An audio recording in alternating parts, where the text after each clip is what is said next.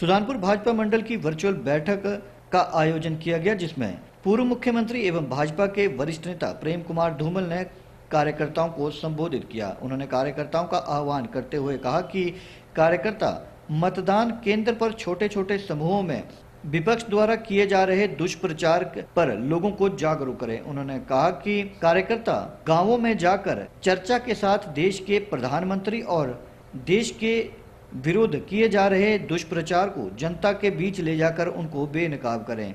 उन्होंने कहा कि उन्हें पता चला है कि देश के कई राज्यों में करोड़ों वैक्सीन पड़ी हैं, लेकिन वैक्सीनेशन का विरोध करने वाले लोग आज कोवैक्सीन, कोविशील्ड इत्यादि वैक्सीन ना मिलने का दुष्प्रचार कर रहे हैं। देश की करोड़ों महिलाओं को मुफ़्त में गैस सिलेंडर व चूल्हा देने वाली सरकार के विरुद्ध वे लोग दुष्प्रचार कर रहे हैं, जिनके राज्य में गैस सिलेंडर तक ब्लैक मिलता था।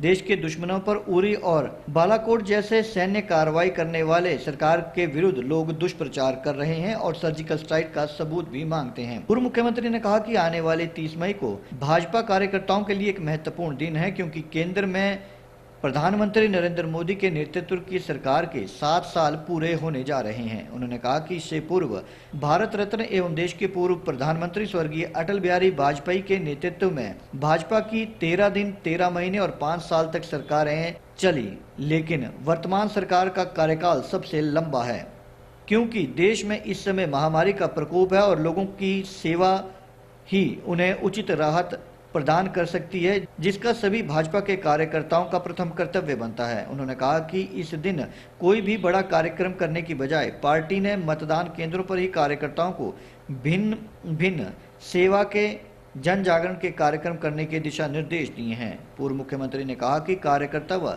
जनप्रतिनिधि स्वास्थ्य विभाग के अधिकारियों, कर्मचारियों से संपर्क साध कर इस दिन होम आइसोलेशन में रह रहे कोविड मरीजों को प्रदेश सरकार द्वारा भेजी गई किट देने में भी सहायता करें और आगे भी उनके साथ संपर्क बनाए रखें व उनकी मदद करें। पूर्व मुख्यमंत्री ने विश्वास व्यक्त किया कि सभी कार्यकर्ता डट कर काम भी करेंगे। किया है तो हमारे मोदी, नरेंद्र मोदी की सरकार ने किया है। जो पूर्व वक्ताओं ने कहा कि तीन सौ सत्तर खत्म करो, जम्मू कश्मीर का पूरा विलय प्रदेश देश में करो, पैंतीस खत्म करो। ये नारे तो हम लगाते थे कि दो विधान, दो प्रधान, दो निशान नहीं चलेंगे नहीं चलेंगे। लेकिन किसको अपेक्षा थी कि एक ऐसी सरकार आएगी जो दूसरी बार चुनाव जीतने के कुछ महीने के अंदर ही पाँच अगस्त 2019 को 370 धारा खत्म कर देगी। पैंतीस खत्म हो जाएगी। जम्मू कश्मीर का जो रिफ्यूजी नागरिक उन्नीस में पाकिस्तान से आया था, उसको नागरिकता मिल जाएगी।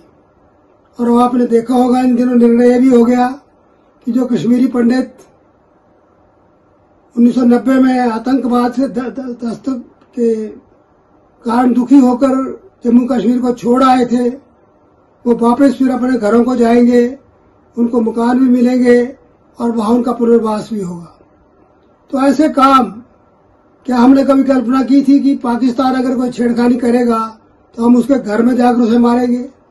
चाहे उड़ी का एक्शन हो, चाहे बालाकोट का हवाई एक्शन हो तो तुलना करिए उन लोगों के साथ जो पहले गैस ब्लैक में देते थे अब वो कहते हैं कि राफेल लिया तो उसमें करप्शन हुई है। फिर सुप्रीम कोर्ट में जाकर कहते हैं, हमने गलत बयान दिया। वहाँ माफ़ी मांगते हैं। सेना और वायुसेना के किए गई कार्रवाई पर सवाल खड़ा करते हैं कि तुमने ऐसा किया भी कि नहीं, कोई सबूत दो। तो आज ऐसे दुष्प्रचार करने वाले लोगों से आपका मुकाबला है। अच्छा काम करने वाली सरकार, सामान्य नागरिक का ध्यान रखने वाली सरकार हर तरह की राहत पहुँचाने वाली सरकार का मुकाबला उन लोगों से जो केवल झूठ बोलते हैं, केवल असत्य बोलते हैं, केवल दुष्प्रचार करते हैं।